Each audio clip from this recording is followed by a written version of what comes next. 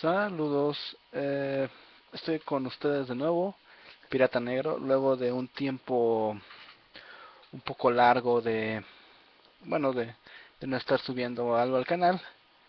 Y en esta ocasión voy a hablar del juego, del módulo de juego de rol a Red and Pleasant Land, que es este una aventura que no es específicamente para un sistema, pero que sí se encuentra enfocada o diseñada para, en su mayoría, para el para Lamentation of the Flame Princess, que ya es un juego del que he hablado antes en mi canal. Básicamente es una combinación de tercera y primera edición de Dungeons and Dragons, que los Dragones. Eh, Red and Pleasant Land es un módulo un tanto interesante y conflictivo, debo decir en cierta forma, ya que me llevó a cuestionarme varias, varias nociones, ¿no? Por un lado, esperaba del libro, voy a ser sincero, un mejor, este, un mejor diseño de arte.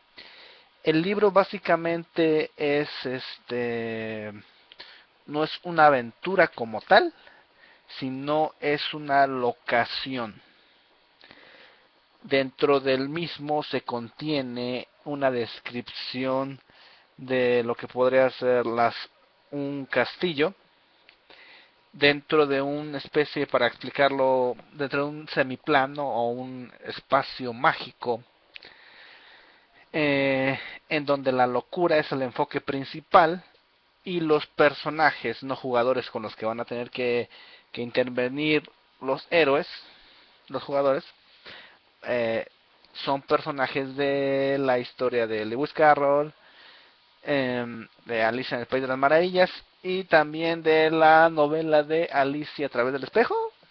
O, sí, bueno, no me acuerdo cómo se llama el título.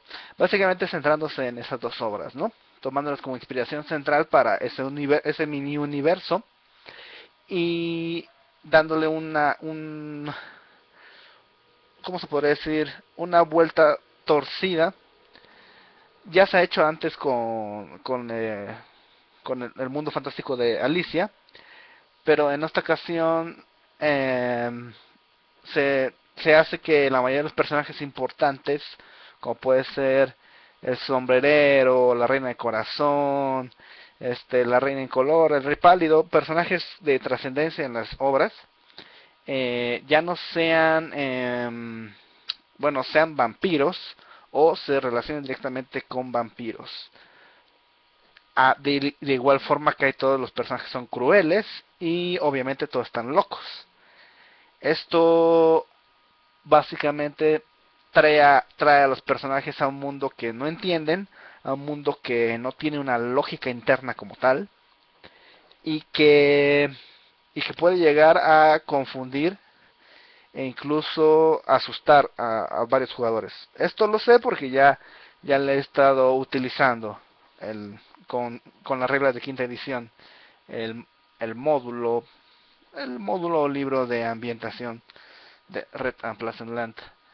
Al principio puedo decir que el arte me, me desilusionó en cierta forma ya que el, tanto el arte como el, el texto, las ideas plasmadas, fueron hechas por Zach Smith, que es una persona a la cual este, aprecio bastante y reviso de forma constante su blog. Y debo decir que, que, no sé, yo siento por el trabajo que le he visto en su blog, que voy a poner un enlace aquí en, mismo, en el mismo video, eh, siento que no, que queda, hay muchos donde sí, por ejemplo, los reyes y las reinas me parece que sí están bien bien este, hechos, bien diseñados, o sea, son interesantes. Pero hay varios personajes que simplemente están feos o son rayones, o sea, sí, y yo, yo entiendo que muchas veces se, relaciona con el hecho de que quiere plasmar que es que el mundo de Red Pleasant es un mundo de locura, es un mundo extraño, es un mundo donde donde lo bizarro o lo deforme puede ser algo, algo cotidiano, pero, Pero siento también como que como que podría en algunos dibujos haberlo haberle puesto más esfuerzo, ¿no? Siento eso. Por otro lado, el diseño del documento como tal es excelente. Me parece que es muy original. Eh, básicamente es como si estuviera recorriendo una envoltura de un caramelo. Es extraño que lo diga así, pero es la idea que me deja. Y, y bueno, vamos en concreto con el libro. El libro básicamente, como dije, no es una aventura, es una locación. Y te permite, mediante tablas aleatorias, de las cuales contiene básicamente para todo, contiene este, las suficientes tablas para que tú puedas ir construyendo en el momento que tú quieras eh, castillos, jardines o bosques dentro del propio mundo. Esto obviamente las tablas te van a decir qué tiene tu bosque, tiene pozo, no tiene pozo, hay ríos, qué personajes se le van a ir apareciendo a los jugadores, qué objetos tienen esos personajes, cuáles son sus intereses personales de esos personajes no jugadores que, van a, aparecer. Eh, y es ahí lo interesante, ¿no? Por un lado está toda esta descripción del bosque, el jardín y de los castillos, de los cuales el libro ya tiene, digamos, un ejemplo básico.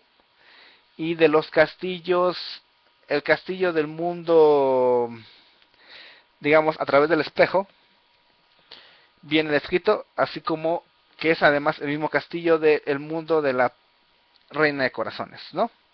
Ambos castillos vienen muy bien este, explicados, que hay en cada uno de sus cuartos.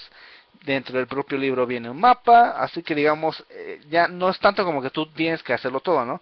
Ya tiene un ejemplo grande de qué es lo que puedes hacer con el libro. Y está muy bien detallado, incluso viene con qué enemigo te enfrentas y toda la cosa, ¿no? Y ya en cuanto ves el título de algún enemigo que tú te vas a que los oponentes, que los jugadores van a enfrentar, entonces te vas a otro parte del libro en donde vienen toda la lista de todos los personajes que van a ir apareciendo, ¿no? Que si el sombrerero, que si la liebre, que si el gato Shazaya, que si los diferentes este, guardias de las órdenes, porque realmente no quiero explicar muy detalladamente cuáles son las diferentes órdenes, ya que arruinaría parte del chiste, que es la confusión. Si vas a usar este libro, hay algo que te advierte el propio, propio documento, y es que tienes que mantener un sentido a los jugadores. Bueno, tú puedes elegir, ¿no? Básicamente te estoy diciendo eso. Tú puedes por un lado hacer que la partida sea muy mm, graciosa, muy bizarra, por el simple hecho de que sea bizarra.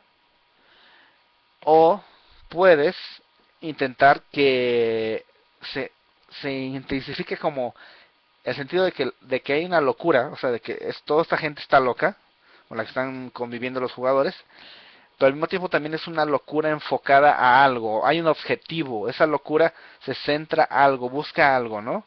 Y esto hace que la partida cobre un calibre más tétrico más que gracioso. Y creo que eso es algo que es bueno que el libro señale, que se nos señale, ya que permite pues estar al tanto, ¿no? Y de no, digamos, poner cosas a los jugadores por ponerlas y ya. Eh, de igual forma, viene en lo que les dije, ¿no? En la descripción de los, de los oponentes, como de los diferentes personajes de Alicia. Eh, es muy interesante. Realmente yo creo que es mi parte favorita del libro como tal. Y es lo que me hizo querer dirigir, la dirigir una partida enfocada en, eh, basada en este mundo, ¿no? Porque al principio cuando empecé a leer sobre el castillo, las trampas, los puzzles que nos plantean, son interesantes, pero pero hasta cierto punto yo mismo me, me, empecé a quedar, no entiendo, o sea, yo me empecé a quedar así como, como que no, no, no entendía muchas cosas, tal vez será porque igual maneja un inglés un tanto complicado, o, será porque tal vez el propio autor no se sabe explicar muy bien, es lo que yo creo. Eh, pero bueno, lo que sí me cautivó fue la descripción de los personajes, de sus ataques, son muy interesantes, dan muchas ideas de partida y en especial un personaje que me gusta mucho y que ya he usado en las diferentes partidas que, que hay siempre, es que no puedo evitar usarlo, me encanta ese personaje como, como, lo, como lo presenta Zack Smith, ese sombrerero, ¿no? Él, nada más voy a escribir al sombrerero y no voy a escribir a ningún otro personaje para no arruinar gran parte de la historia.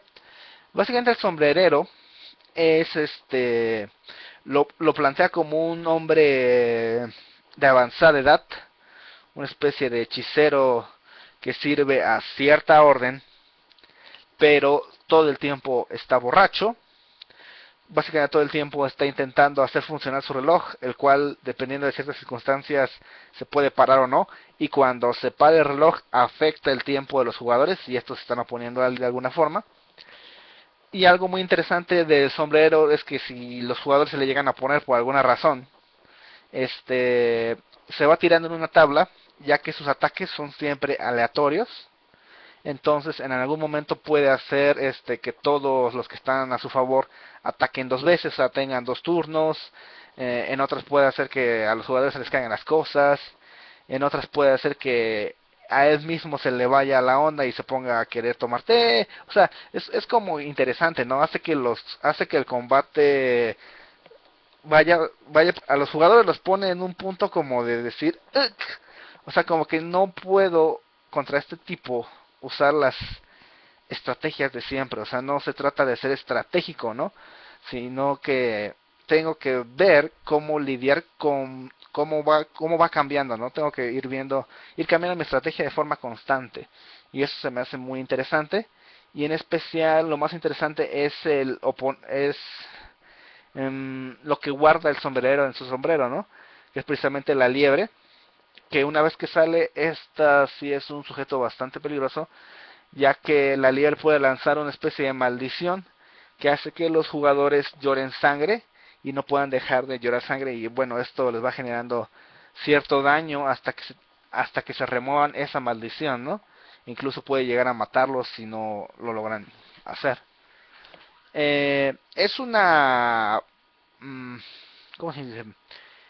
Es una locación para personajes de nivel alto. Ya se señala alrededor de todo el libro.